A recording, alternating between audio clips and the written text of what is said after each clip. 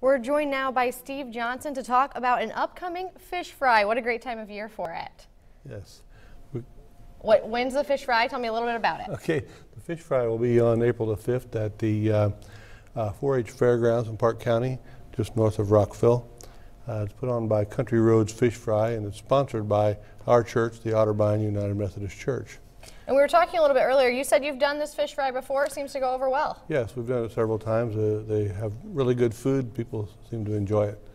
And uh, th- you said it's on April 5th, right? Yes, uh-huh. And what are the times for it? Uh, It'll start at 4:30 PM and run to 7 PM. Oh, awesome. And pe- can people get to go, or is it? Yes, there are, the carryout will be available.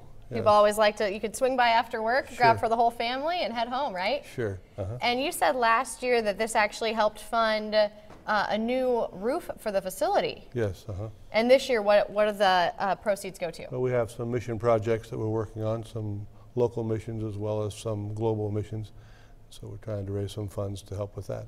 And will you be there at the fish fry? Yes, I will. And how many fish are you planning on eating? Oh, Try to get a few done at yeah, least, right? yeah, we'll get a few. Yes, um, Wonderful. So, and we'll do that one more time, April 5th. Mm-hmm. Uh, and where it's at the 4-H Fairgrounds, 4-H Fairgrounds in Parke County, just north of Rockville.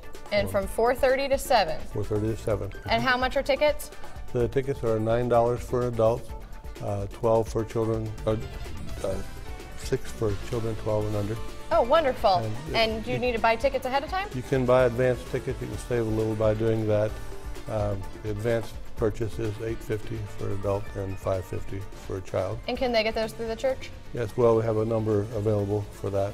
Wonderful. Wonderful.